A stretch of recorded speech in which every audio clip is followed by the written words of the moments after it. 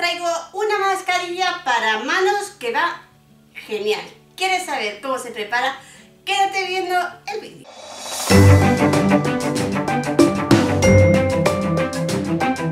Como estamos haciendo que si cara, cuello, pues he decidido hoy hacer una especial para las manos que sé que os va a gustar y muchísimo. Como siempre, ingredientes que tenemos en casa, ingredientes buenísimos para la piel y ingredientes sencillos de conseguir. Hoy voy a dar la mascarilla ahora, ya, al principio, no al final, como hago siempre. Eh, hoy, al principio, para variar un poco la dinámica de los vídeos. Eh, vamos a empezar hoy porque así eh, si queréis hacerla al mismo tiempo que yo pues podéis hacerla. estoy pensando en hacer algún día un vídeo directo, en, o sea algún día en la semana, algún vídeo en directo donde eh, hagamos una mascarilla, yo os pongo por ejemplo el lunes, el miércoles vamos a hacer una mascarilla, vamos a necesitar tal ingredientes y podemos hacer la mascarilla todos a la vez en directo, pues todos allí pringando. Decidme qué os parece la idea en comentarios y si queréis pues la llevamos a cabo. No a lo mejor todos los miércoles, pero si algún día así suelto, pues mirad de hacer eh, pues este experimento, a ver qué tal sale.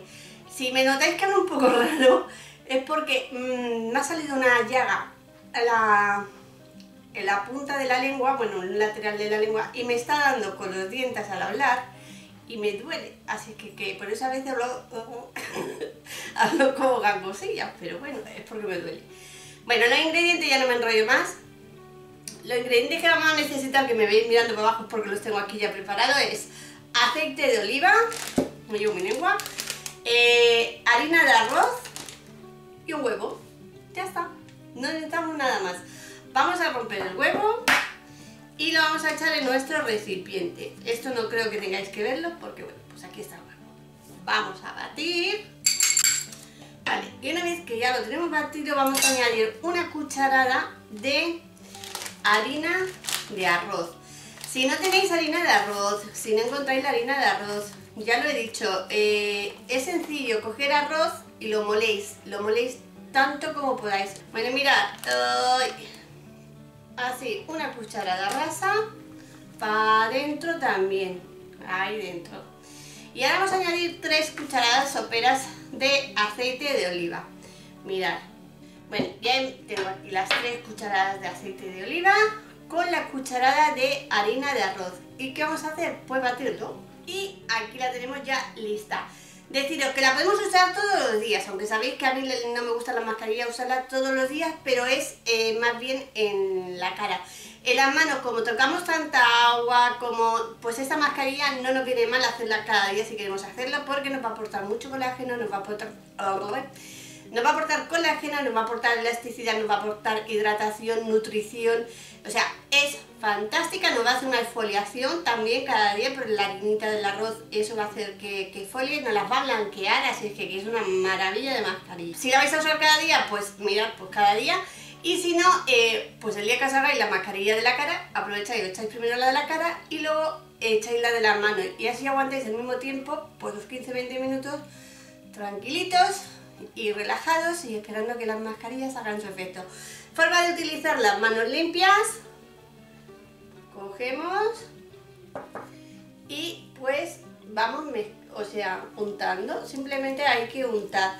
Vamos a ir haciendo eh, círculos como si estuviéramos lavándonos las manos. Y listo, no hay más. Una vez que lo tengamos así, que esté todo pringadito, las vamos a dejar secar. Podéis poner unos guantes, aunque también ya sabéis que a mí eh, no me gusta cuando hay algún producto taparlo, a no ser que sean esas las mascarillas para adelgazar. Pero en este caso creo que no hace falta, pues yo me voy a quedar así mis 15-20 minutos esperando a que la mascarilla se seque y haga su efecto. Cuando esté lista, pues regreso y vemos los resultados y cómo retirarla. Una vez que ya han pasado los 20 minutos vais a notar que la piel de las manos eh, se queda mm, reseco. Habrá algunas zonas a lo mejor que, las notéis más húmedas, pero es porque si habéis echado más cantidad, pero no pasa nada. Ya está. Vamos a hacer eh, movimientos circulares para ir quitando, pues, mirad, van a salir como veis, como unas bolitas, que bueno, es la harina.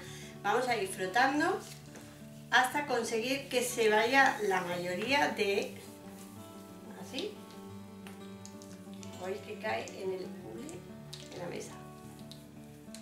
¿Veis? Así. Esto va a hacer que nuestra piel se note más suave todavía porque va a eliminar pues todas las células muertas, va a hacer como un peeling, una foliación mejor dicho. Hacemos hincapié en los dedos. Esto también le viene muy bien a las uñas. Y bueno, pues cuando creáis que, que ya habéis sacado todo lo suficiente, vamos a lavarnos las manos. Bueno, ya las tengo listas y la verdad es que son una maravilla como queda la, como queda la piel. Tengo que deciros que yo las manos me las lavo solamente con agua, que hecha la mascarilla, me la he aplicado, hemos hecho la, la foliación eh, frotando y ahora ya simplemente he ido y me las he mojado con agua fría y pues así son como han quedado mis manos, no quedan aceitosas, no quedan para nada eh, pues grasientas. Se notan fantásticas, ya lo estáis viendo. Estoy viendo que quedan, quedan genial las manos. Mirad. Y si la vamos usando pues diariamente, vamos a notar también que vamos eliminando manchas, ya que eh, pues la harina de arroz blanquea con lo cual vamos a ir eliminando manchas. Es que hago así porque es que de verdad que queda la piel genial. Por lo menos probadla una vez porque así podréis eh, confirmar si la mascarilla funciona o no funciona. Os aseguro que os va a gustar. La mascarilla que os sobre la guardáis en un tupper, en un botecito cerradita, la guardáis en la nevera y la tenéis para el día siguiente.